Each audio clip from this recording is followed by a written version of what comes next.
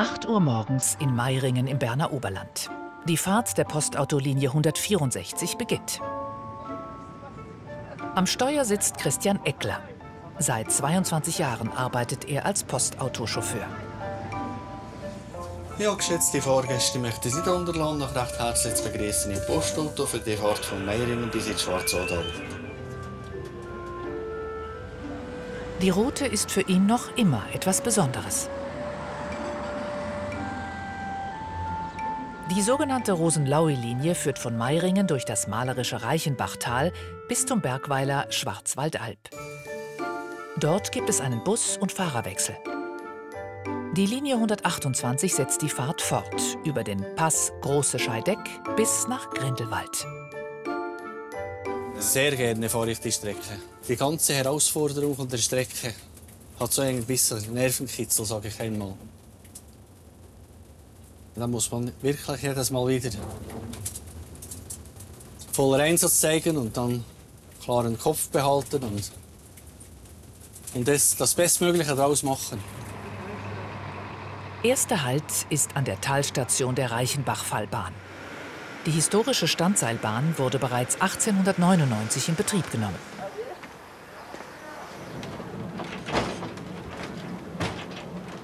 Einer der Fahrgäste ist Michael Mehr ein glühender Verehrer von Sherlock Holmes.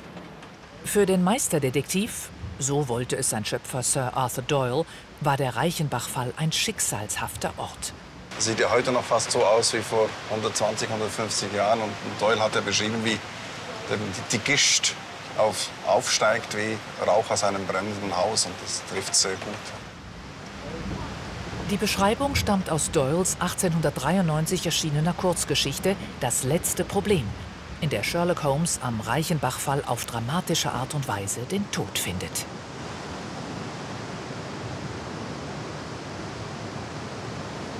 Für Fans des Meisterdetektivs ist ein Ausflug zu der mächtigen, 120 Meter hohen Kaskade daher fast schon ein Muss.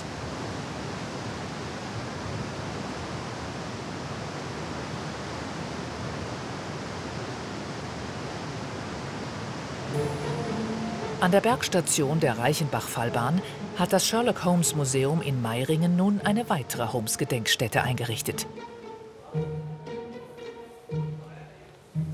Der Berner Rechtsanwalt Michael Mehr war bei der Gestaltung beteiligt. Schließlich ist er der Vorsitzende der Schweizer Sherlock Holmes Gesellschaft. Das hat eigentlich mit dem Lesen begonnen, Abenteuergeschichten und dann erste Krimis und dann kommt man unweigerlich irgendwann mal zu Sherlock Holmes. Und wenn man dann als 10-, 12-jähriger Schweizer Junge äh, liest, dass der Held dieser Geschichten, äh, dessen Biografie man verfolgt, gar nicht weit von dort, wo man lebt und aufgewachsen ist, dann stirbt äh, und die Welt verlassen haben soll, dann ist das ein besonderes Faszinosum. Und da hat es dann irgendwo Klick gemacht und mich seither auch nicht mehr losgelassen.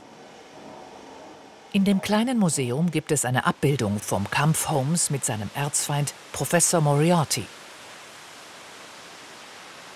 Aus den Angaben in Doyles Roman lässt sich darauf schließen, wo genau an dem tosenden Wasserfall sich dieser Kampf um Leben und Tod abgespielt haben muss.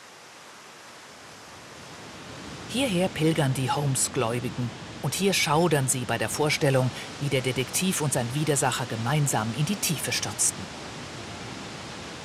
Eine Gedenktafel erinnert an die fiktive Begebenheit, durch die Sir Arthur Doyle seinen Romanhelden sterben ließ. Sherlock Holmes hat Conan Doyle zu Berühmtheit gebracht und dieser Erfolg äh, war ihm in dem Sinne unangenehm, weil er das Gefühl hatte, dass ihn dieser Sherlock Holmes davon abhalte, äh, wirklich gute Literatur zu schreiben. Und er musste sich von der Figur befreien, damit er wieder Raum und Platz hatte, das zu schreiben, was er eigentlich wirklich wollte, primär historische Romane. Und ich glaube, das war einer dann dieser berühmten Zufälle, äh, als er die Schweiz bereiste und diesen Reichenbach-Fall gesehen hat, hat er dann auch in sein Tagebuch notiert, äh, Killed Holmes. Also da kam ihm äh, die Idee, das wäre eigentlich ein ähm, richtiges Grab oder ein ehrenwertes Grab äh, für, für Sherlock Holmes. Wenige Jahre später ließ der Autor Sherlock Holmes wieder auferstehen und noch viele weitere knifflige Fälle lösen. Aber das ist eine andere Geschichte. Meiringen jedenfalls lebt nicht schlecht mit dem Kult um die britische Spürnase.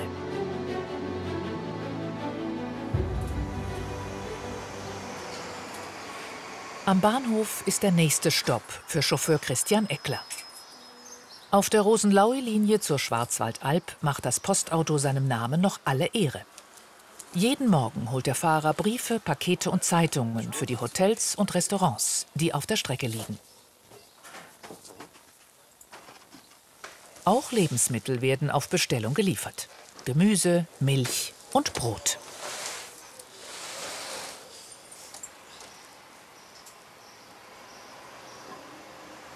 Die Rosenlaui-Linie gehört zu den spektakulärsten Postautorouten der Schweiz.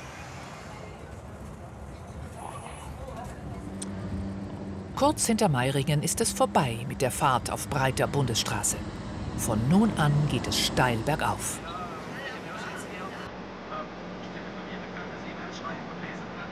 Immer am Reichenbach entlang. Also, wir sind im Reichenbachtal, wir können jetzt Reichenbach überqueren. Links und rechts ist Schlucht und Wasser.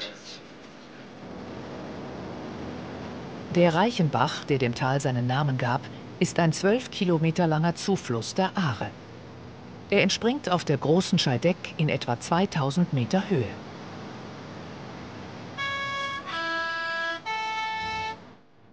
Jetzt kommt das Horn des Postautos mit seinem berühmten Dreiklang zum Einsatz. Denn die Straße ist schmal und der Gegenverkehr will gewarnt sein.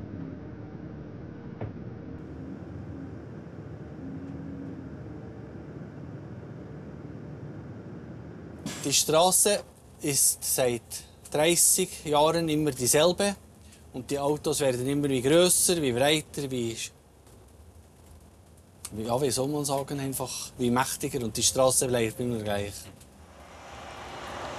So wird das Manövrieren für manch Autofahrer zum Problem. Viele Automobilisten und Automobilistinnen, die einfach nicht wissen, wie groß das ihr Fahrzeug ist. Und dann gibt es manchmal, dass sie aussteigen und dann dürfen wir die Autos beiseite stellen und dann geht es weiter. Vor einer Woche hatte ich hier oben eine Frau, genau hier. Die kam oben herabzufahren mit einem Van hatte volle Kinder, also das Auto war voll mit Kindern besetzt. Und die sagten ihr, wie sie fahren muss. Und die hat nur noch am Steuerrad gedreht, einmal so und einmal so. Und dann war fertig. Die war hier gestanden.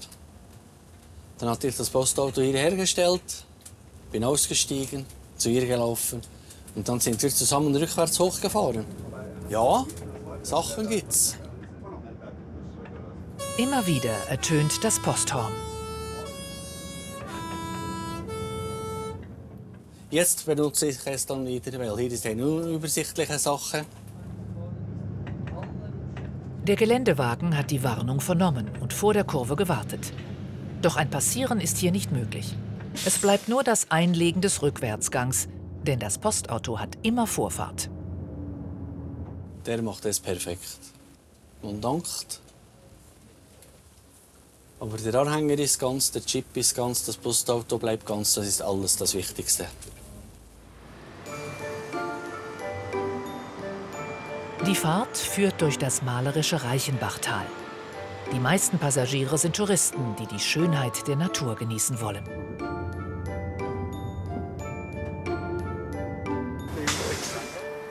Doch heute haben einige der Fahrgäste anderes im Sinn. Silvia Kappeler, Simon Weiß und Robert Schäble sind an der Haltestelle Zwirgi ausgestiegen. Vor ihnen liegt ein etwa 20-minütiger Fußmarsch entlang des Reichenbachfalls.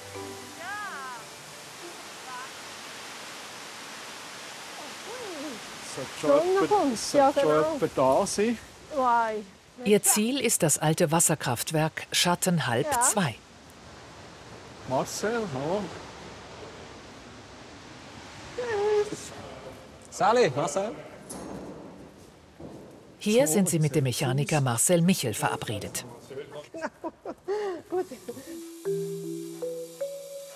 Gemeinsam wollen sie heute die fast 100 Jahre alten Turbinen des Kraftwerks in Augenschein nehmen. Denn das 2010 stillgelegte Werk soll wieder in Betrieb genommen werden. Als Industriedenkmal. Schließlich ist es eine der wenigen noch vollständig im Originalzustand erhaltenen Anlagen aus der Pionierzeit der Schweizer Wasserkraftnutzung. So ist gut, merci. Ja, ja, wenn es dann passt, schon, ja. Die Turbinen, so scheint es, könnten problemlos reaktiviert werden. Ich bin ja Wasserkraftingenieur und, und die Maschine ist für mich jetzt eigentlich nicht de facto alt. Äh, Es ist eigentlich Stand der Technik. Also äh, eine Pelton-Turbine, wenn ich die heute kaufen würde, würde genau gleich aussehen. Da hat sich gar nichts Weltbewegendes geändert. Die Architekten Silvia Kappeler und Simon Weiß haben die Stiftung Kraft und Wasser gegründet, mit der sie Geld für die Erhaltung der historischen Industrieanlage sammeln. Dieses spezielle Kraftwerk hier, wo noch alles vorhanden ist, sollte man nicht einfach wegmachen, weggehen. Man sollte es doch wieder zurechtmachen, zeigen, wie so Elektrizität gemacht wird. Das sind alte, wertvolle Stücke. Es berührt mich auch, auch jetzt, wenn ich es anfassen darf. Da haben sehr viele Menschen daran gedacht, gearbeitet. Es lohnt sich, das den Kindern weiterzugeben. Ich hatte einmal einen kleinen Knabe, der hat sich so interessiert, als wir da waren, hat mich dann so, schon motiviert. 2016 sollte das Werk abgerissen werden. Doch dann hat es die Stiftung für einen symbolischen Franken von der Bernischen Kraftwerk AG übernommen. Es ist ein Wagnis. Es gibt auch oft schlaflose, Nächte, muss man sagen, ja. Aber äh, es hat hier alles so gepasst mit dem einzigartigen Standort. Das Zusammenspiel mit dem Wasserfall, der Standseilbahn und dem Kraftwerk, das, das, kann, ja, das wird ein einzigartiges Ensemble. Ein Museum, das man nur wie jetzt hinguckt und die Maschinen vielleicht noch berührt, das ist für ein Industriedenkmal zu wenig. Es muss funktionieren, so wie eine Dampflokomotive. Deshalb wird der Zustand der alten Maschinen genau kontrolliert. Eine sogenannte Magnetpulverprüfung unter UV-Licht zeigt, ob die Turbinen Risse haben. Von solchen modernen Methoden konnten die Erbauer der Anlagen damals nur träumen. Schaufel Nummer 11. Bis jetzt ist gut. Das gibt einem schon, schon Ehrfurcht. Ja. Und auch die Berechnerei, was die alles berechnen mussten, alles auf Papier und mit, mit Rechenschieber. Heutzutage ja, hast du einen Taschenrechner, hast einen PC, hast Excel. Es ist irgendwelche Simulationssoftware. Ja, äh, es, es ging damals genauso. Und doch, also ich glaube, meine Generation Ingenieure hat schon Ehrfurcht vor den alten Ingenieuren vor 100 Jahren oder, oder noch früher. In wenigen Monaten soll das alte Wasserkraftwerk wieder Strom liefern. Das Postauto schlängelt sich mühsam die Serpentinen in Richtung Schwarzwaldalb hinauf.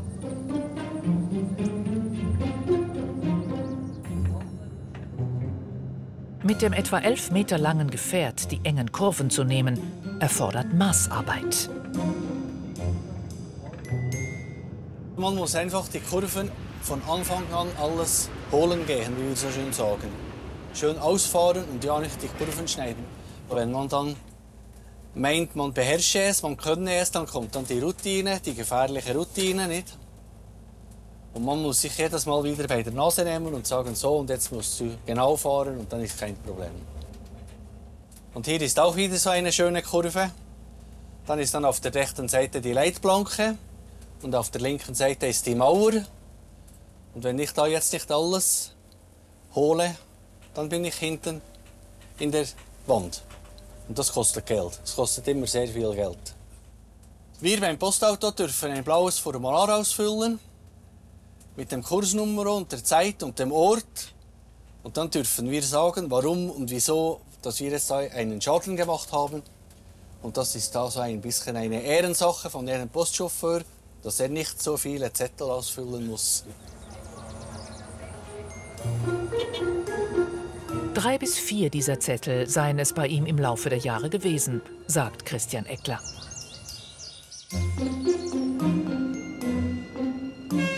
Manch ein Fahrgast verträgt die engen Kurven und steilen Abhänge nicht. Und wenn man so sitzt im Auto, sieht es manchmal so ein bisschen gespenstig aus. Manchmal werden sie bleich und still und stumm und steigen dann bei der nächsten Gelegenheit wieder aus. So. Wer durchhält, erreicht das Reichenbachtal, auch Rosenlauital genannt, mit einzigartigem Blick auf Wetter und Wellhorn. Silvia Stofer ist aus Zürich angereist.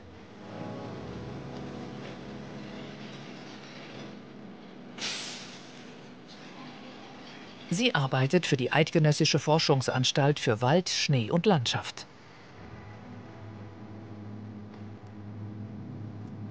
Die Botanikerin kommt wegen der Bergahornweiden.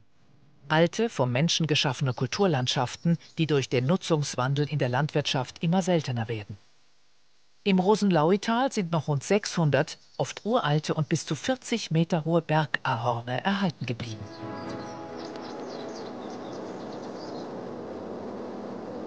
Die Bäume sind Lebensraum für eine Vielzahl von Tieren, Pilzen und Pflanzen. An Stamm und Ästen eines einzigen Ahorns können jeweils etwa 60 verschiedene Moos- und Flechtenarten vorkommen. Silvia Stofer interessiert sich vor allem für die große Lungenflechte. Hier sehen wir, da oben beginnt es und hier geht es weiter bis da drüben. Das ist die große Lungenflechte. Diese tallösen Strukturen hier, die so hellgrüne Lappen bilden. Es sind spezielle Flechten, das sind Flechten, die wachsen erst auf alten Bäumen, sehr alten Bäumen. Und ähm, es scheint, dass der Schritt von einem Baum dann zum nächsten alten Baum, von einem sehr alten Baum zum nächsten alten, auch schon sehr alten Baum, nicht ganz einfach ist, dieser Schritt für die Flechte. Die große Lungenflechte gibt es nur noch an sechs Standorten in der Schweiz. Sie steht auf der roten Liste der stark gefährdeten Arten. Neben der forstwirtschaftlichen Nutzung der Wälder sind Luftverschmutzung und saurer Regen dafür verantwortlich. Und die komplizierte Fortpflanzung der Flechte. Also ich habe jetzt hier gesucht, ob ich kleine Fruchtkörperchen finde. Also das sind die Fruchtkörperchen hier, diese braunen Scheiben. In den Fruchtkörperchen bildet der Pilz Sporen. Die fliegen dann weg, wenn sie reif sind, landen irgendwo in der Umgebung. Und wenn dann in der Nähe die richtige Alge ist, dann kann wieder eine Flechte gebildet werden.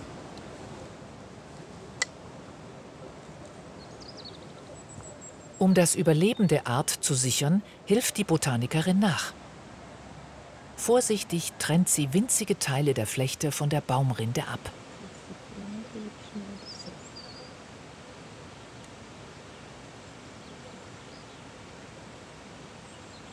Diese will sie nun auf einen anderen Bergahorn transplantieren.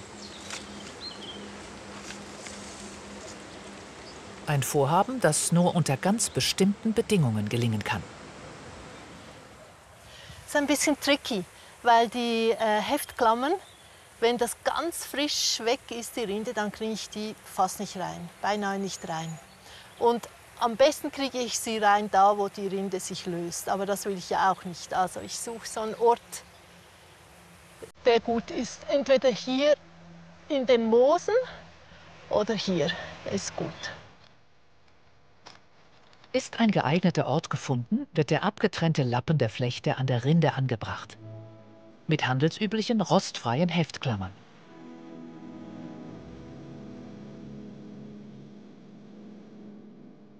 Silvia Stofer hat dieses Verfahren bereits mehrmals angewandt. Mit großem Erfolg. Die große Lungenflechte ist besonders einfach. Die wächst rundherum um diesen Talus rum, bildet sie wieder, überall kann sie wieder kleine Lappen bilden. Und das macht sie mit der Zeit. Und die Flechten nehmen alles über die Luft auf, Feuchtigkeit, Wasser oder wenn es regnet vom Stamm. Äh, die brauchen nichts vom Baum, die halten sich nur fest hier im Moos. Flechten wachsen generell eher langsam. Wenn es gut läuft, dann habe ich gesehen, dass ähm, in sieben Jahren ist sie vielleicht so.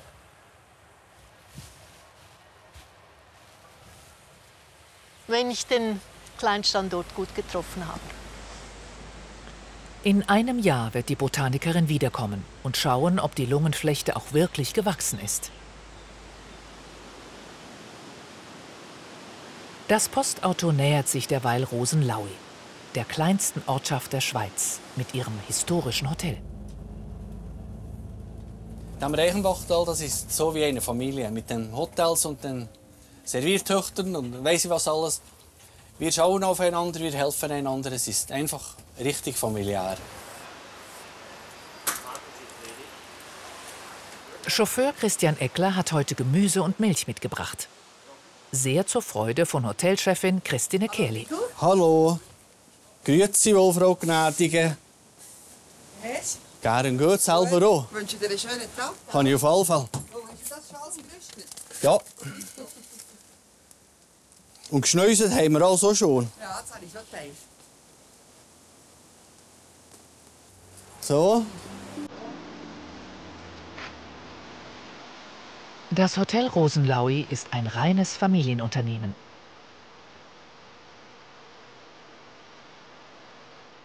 Christine Kehli und ihr Mann Andreas führen gemeinsam mit Sohn Jakob die Geschäfte.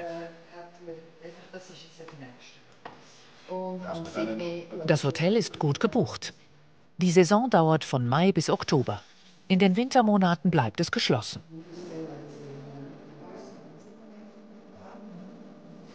Die Geschichte des Hotels erzählt von den Anfängen des Tourismus in der Schweiz. 1771 wurde in Rosenlaui eine Schwefelquelle entdeckt und für den Kurbetrieb genutzt. Goethe, Nietzsche und Tolstoi waren einige der berühmten Gäste. Im Jahre 1960 kam das traditionsreiche Haus in den Besitz von Ernst Kehli. Er ist ein Sozialist gewesen und er konnte das überhaupt nicht ertragen, dass da noch so eine alte Standesgesellschaft äh, gegolten hat. Es hat noch Engländer gehabt, die haben sich jedes Mal, wenn ein Mitarbeiter gekommen ist, haben die sich da so abgedreht, weil das waren Unberührbare, die durfte man nicht anschauen. Und er fand das alles eklig. Er hat das oft gesagt, wir brauchen ein neues Verständnis von Gastronomie. Nicht der Gast ist König, nicht wer zahlt, befiehlt, äh, sondern eine, eine, auf Augenhöhe begegnen sich Gastgeber und Gast und das äh, würde allen wohlbekommen und, und zu einer schönen und, und freundlicheren Gastronomie führen. Heute ist das Hotel vor allem bei Wandergruppen beliebt. Die Besucher schätzen die einzigartige Lage und das nostalgische Flair.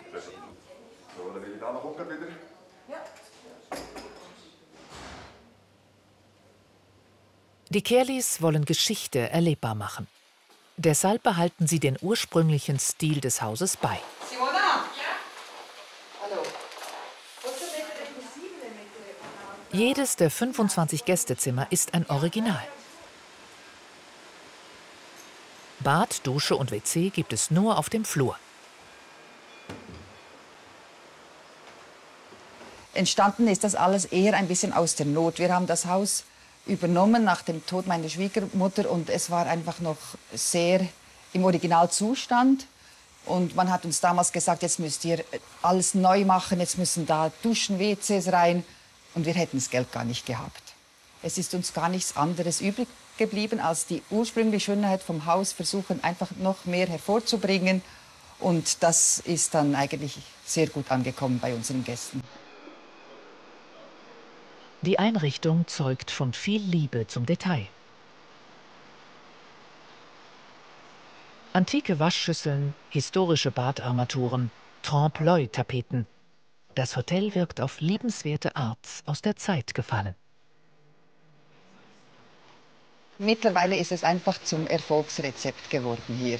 Dass man eintauchen kann in eine Zeit, wo es halt vielleicht wirklich noch ein bisschen ruhiger zu und her ging, wo man nicht so schnell unterwegs war, wo man vielleicht auch nicht immer alles immer sofort wusste, wo man sich ein bisschen Zeit genommen hat und wo man einfach auch Räume und Landschaften erlebt hat.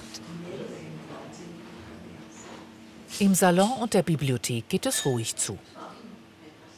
Die Gäste unterhalten sich, spielen Schach oder lesen ein Buch.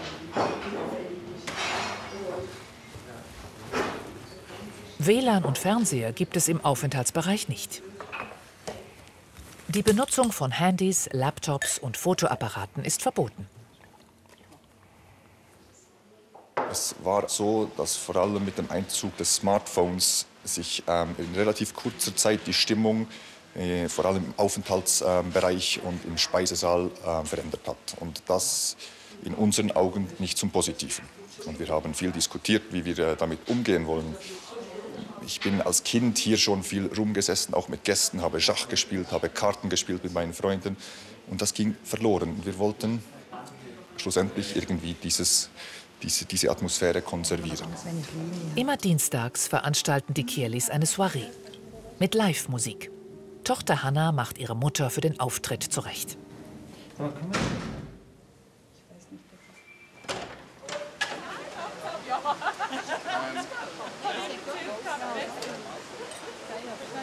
Christine Kehlis liebstes Hobby ist das Jodeln. Sie leitet eine der wenigen Frauenjodelgruppen in der Schweiz, die Engelhoren. Stämmer det bra?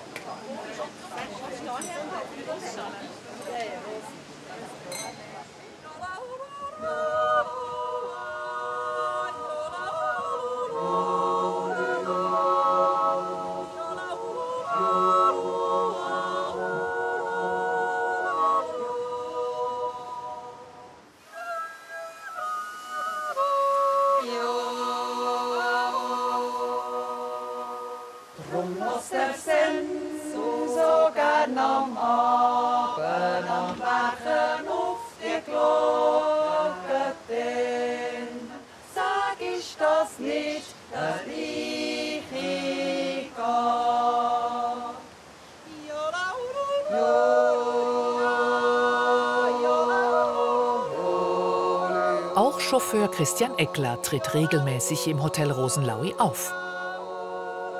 Die Soirees sind immer sehr schön. Weil ich singe selber in einem Männerchor. Seit vielen Jahren, seit vielen Jahren der Jüngste. Wir haben Nachwuchsprobleme, aber das ist überall so in den Vereinen. Und wenn wir da singen dürfen, ist das immer ein Highlight für uns. Wenige Meter vom Hotel entfernt liegt die nächste Sehenswürdigkeit. Die Rosenlaui-Schlucht.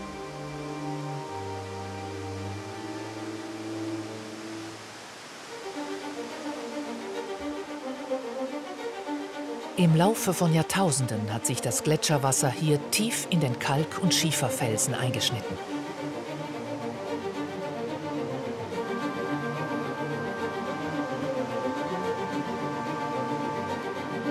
Die Schlucht ist Teil des UNESCO-Welterbes Schweizer Alpen Jungfrau Aletsch. Rund 20.000 Besucher kommen im Jahr hierher. Ihr Weg führt sie vorbei an spektakulären Wasserfällen, geheimnisvollen Grotten und bizarren Felsschliffen.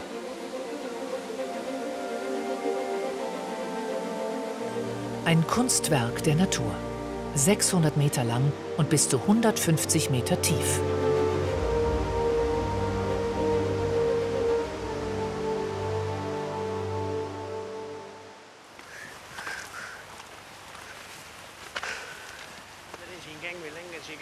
Der Job von Markus Ecker und Rödi Kohler ist es, die Sicherheit der Besucher zu gewährleisten.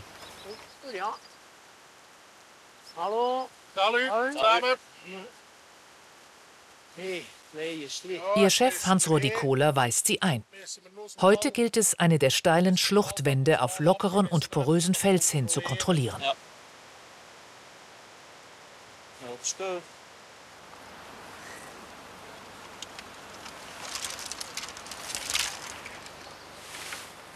Markus Ecker hat eine spezielle Ausbildung absolviert.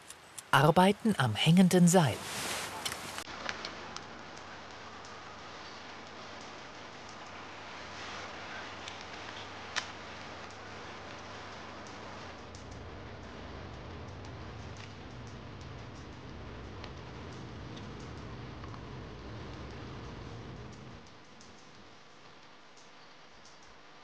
Etwa 70 Meter tief ragt die Wand an dieser Stelle senkrecht ins Tal. Mit einem Brecheisen sucht der Kletterer nach losem Gestein.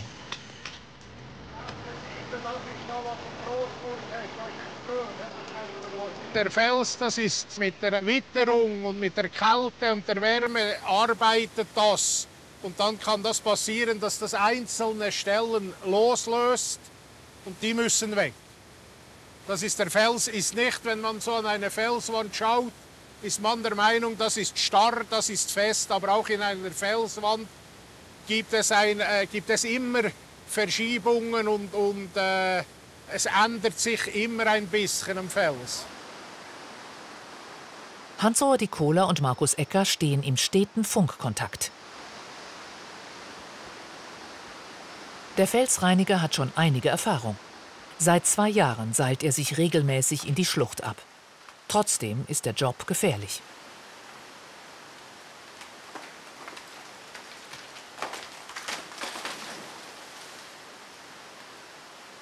Es gibt zwei, drei Regeln, die er ganz klar beachten muss. Er muss erstens die Knoten, die er macht, muss er beherrschen, die müssen sitzen und dann auf seine eigene Sicherheit achten, indem dass er sehr, sehr äh, genau von oben nach unten arbeitet, die losen Stellen reinigt, damit nicht auf einmal ein loser Stein runterkommt und ihn trifft. Mit Werkzeug und viel Muskelkraft bringt der Kletterer den losen Fels zum Absturz. Natürlich ist die Schlucht während der Arbeiten aus Sicherheitsgründen für den Publikumsverkehr geschlossen.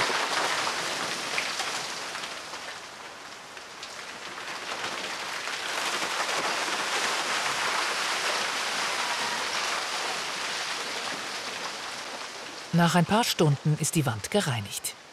Die Besucher können kommen.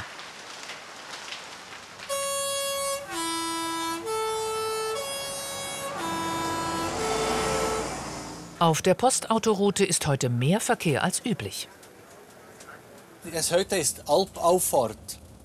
Und die Kühe gehen im Sommer auf die Alp hoch, in die Ferien, sage ich jetzt einmal. Und den Fahrplan muss man heute vergessen. Vor 20, 30 Jahren wurden sie alle zusammen zu Fuß unterwegs und heute werden sie geführt.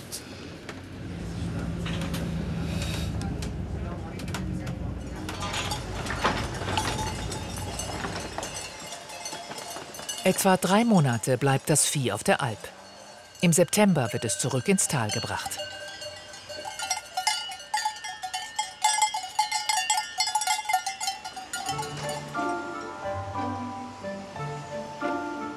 Das Postauto der Linie 164 nähert sich der Schwarzwaldalb.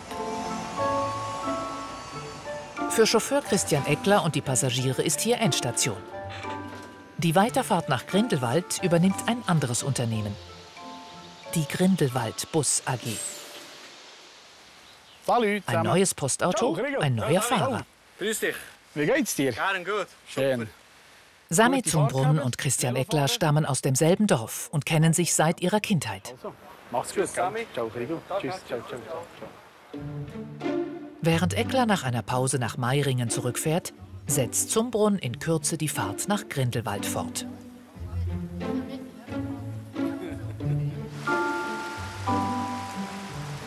Viele Fahrgäste besichtigen auf der Schwarzwaldalb das alte mit Wasser betriebene Sägewerk. Es wurde 1896 erbaut und ist noch immer in Betrieb.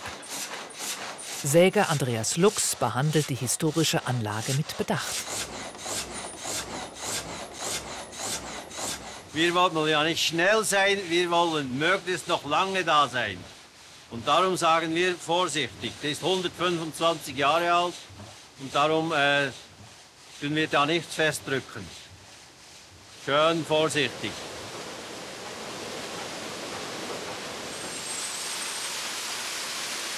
Von 1970 bis 2000 stand das Werk still und verfiel langsam. Durch eine gemeinnützige Stiftung wurde es vollständig restauriert. Seitdem läuft die Säge wieder, so präzise wie am ersten Tag. Ein Millimeter daneben, zwei drehen. Ganz exakt. Wenn es nicht exakt kommt, dann ist der Säger schuld, aber nicht die Säge. Nein, die geht von vorderst bis hinten genau, Millimeter genau.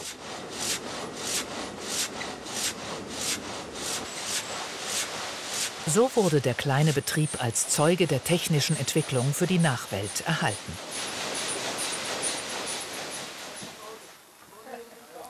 Für Chauffeur Sami Zumbrunn ist es Zeit. Eine knappe Stunde dauert die Fahrt der Linie 128 von der Schwarzwaldalb bis nach Grindelwald. Werte Gäste, ich möchte euch recht herzlich begrüßen. Ich wünsche Ihnen gut, eine gute, schöne Fahrt. Die Straße wird nun noch schmaler und steiler als zuvor. Deshalb ist sie für den motorisierten Verkehr gesperrt. Einzig der gelbe Bus darf hier verkehren.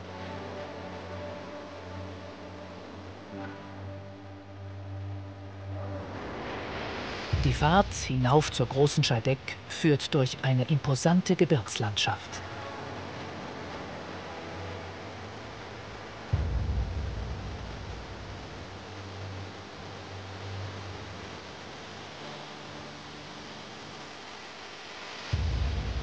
Die Schönheit und Ursprünglichkeit der Natur beeindruckt auch den Chauffeur jedes Mal aufs Neue. Also für mich ist es einfach eine Königsetappe. Die Kulisse ist einfach einmalig und der Schnee, der ewige Schnee, das Eis. Man sieht dann manchmal Tiere, jetzt kommen dann die Kühe wieder und die Murmeltiere sieht man. Es ist wunderschön. Sami Zumbrunn nennt sich auch The Singing Driver. Er ist preisgekrönter Jodler und lässt die Fahrgäste gerne an seinem Hobby teilhaben. So, werte Gäste, es ist so ein wunderschöner Samstag und ich bin ja der singende Busfahrer. Ich werde Ihnen jetzt ein kleines Ständlein geben. Ja, la, la,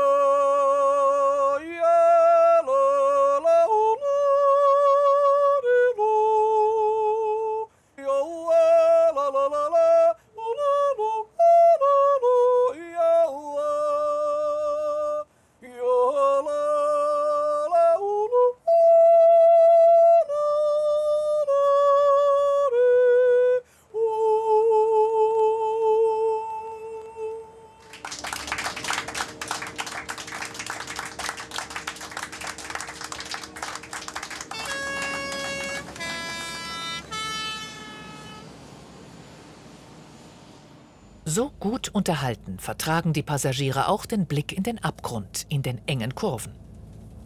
Ich liebe das. Wenn du die, die Leute hörst, dann beißen sie sich fast die Zähne aus, wenn ich da rausfahre, weißt du.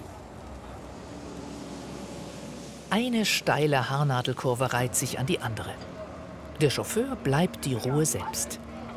Er fährt die Strecke seit Jahrzehnten. Das gibt es immer wieder, dass manchmal Leute sagen, ja, ich habe Angst gehabt, das darf nicht sein.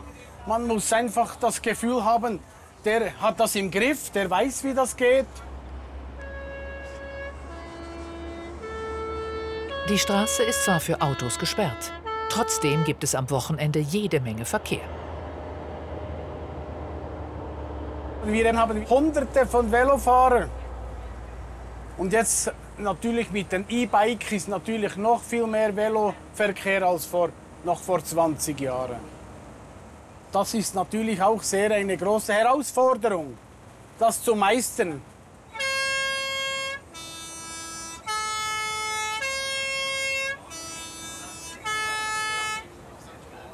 Und die Huperei ist sehr wichtig, weil wenn da ein Velofahrer kommt, ich habe nicht gehupt, dann habe ich ein Problem. Ja,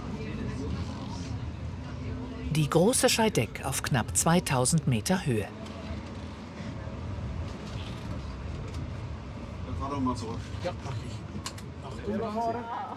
Am Passübergang machen Fahrer und Passagiere eine kurze Pause.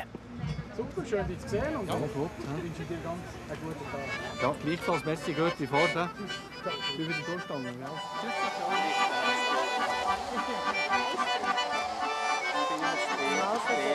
Sami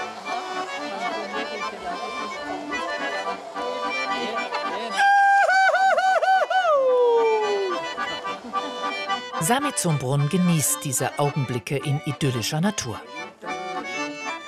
Früher hat man viel noch genossen, geschätzt, diese Schönheit.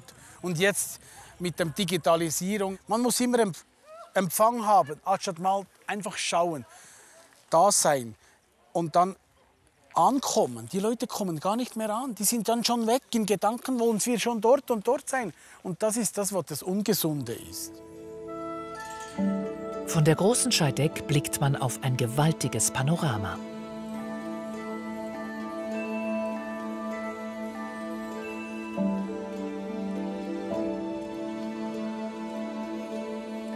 Kaum jemand kennt die Bergwelt um Grindelwald so gut wie Peter, genannt Speedy Füllemann.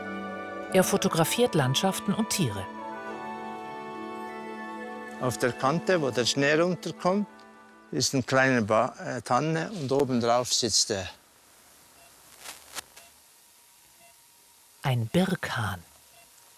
Aber keine Gefährtin. Allein auf weiter Flur. Vielleicht eine Aufnahme wert. Speedy hat schon häufig Birkhähne fotografiert. Meistens während der Balz. Zu anderen Zeiten sieht man die Vögel kaum, da sie sich vorwiegend im Wald aufhalten.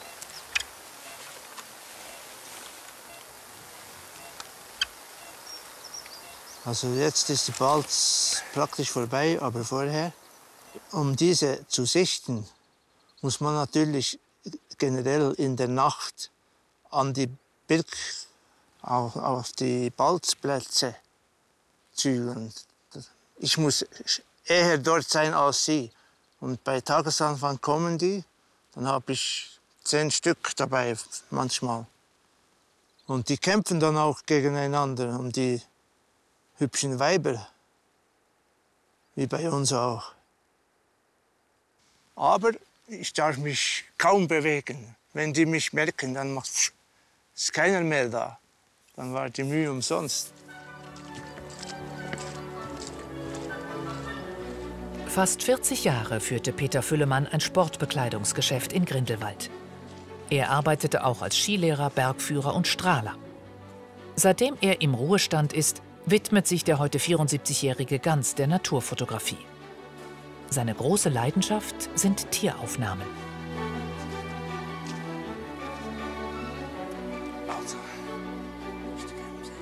Gämsen hat viele hier. Jetzt haben die Junge, die sind noch nicht ganz groß. Da hatte ich die, die letzte Woche noch ein paar mit den ganz kleinen Kids. Kommt man auch nicht alle Tage zu, zu Gesicht.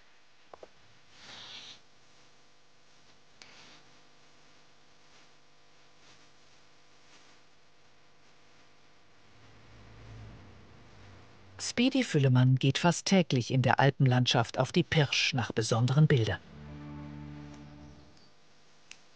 Getreu seinem Motto, eine Kamera zu tragen ist wie eine Freikarte für das Unerwartete. Es ist ein sehr spezieller Ort für mich, weil ich komme immer wieder hierher, weil für mich ist das äh, ein Kraftort. Ein Kraftort bedeutet für mich die Stille, in Demut die Natur erleben, mit all den verschiedenen Tageszeiten, Lichtstimmungen. Ich habe die Sterne, die, die Milchstraße. Da war ich hunderte Male hier und ist jedes Mal anders.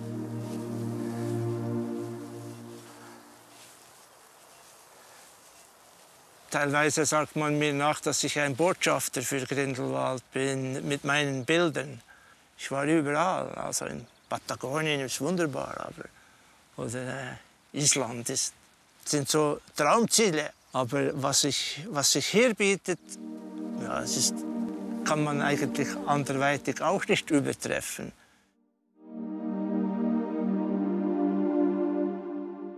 Der Fotograf hat bereits einige Bildbände veröffentlicht.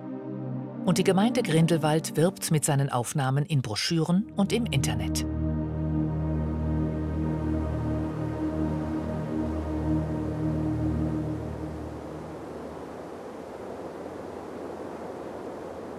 Sorge bereiten Speedy die Folgen des Klimawandels.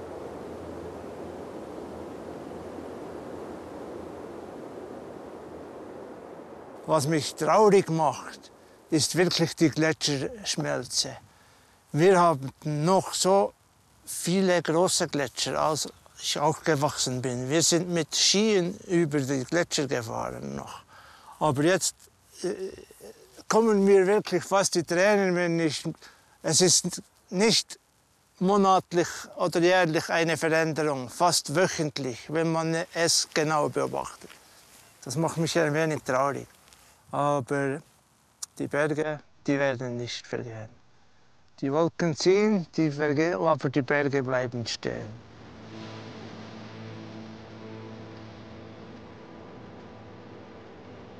Nicht nur der Naturfotograf beklagt den Rückgang des ewigen Eises. Auch für den Postautochauffeur ist die Schmelze der Grindelwaldgletscher ein wichtiges Thema.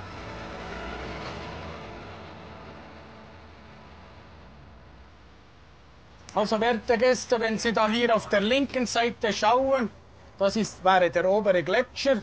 Man sieht aber fast nichts mehr von ihm. 1984 habe ich hier angefangen, Bus zu fahren und da war der Gletscher, der obere Grindelwalder Gletscher, war bis in den, in den Wald reingekommen. Und jetzt ist er drei Kilometer zurückgegangen.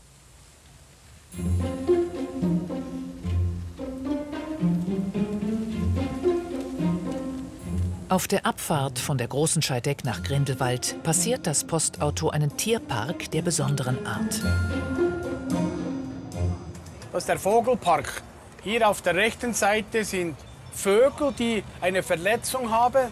Weil sie verletzt sind, könnten sie in der Natur nicht mehr leben. Der Alpenvogelpark liegt auf 1400 Meter Höhe. Hier leben etwa 50 Vögel. Die Tiere stammen überwiegend aus dem Alpenraum, wie der Auerhahn, von dem es noch rund 500 Exemplare in der Schweiz gibt. Ob Schleiereule, Kolkrabe, Mäusebussard oder Uhu, alle Vögel wurden krank oder verletzt im Park abgegeben. In der Wildnis könnten sie nicht überleben. Die tägliche Pflege der Tiere erfolgt ehrenamtlich.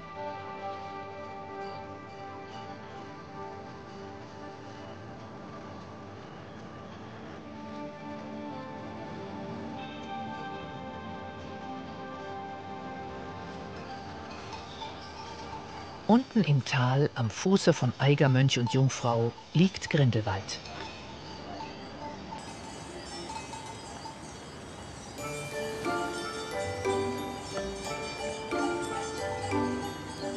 Das Postauto nähert sich dem beliebten Wintersportort.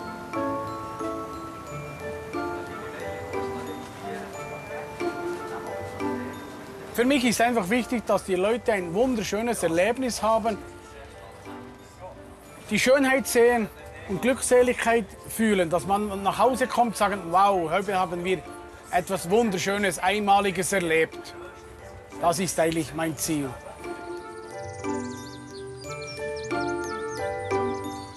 Hier endet die Fahrt von Meiringen nach Grindelwald. Auf einer der schönsten Postautorouten der Schweiz.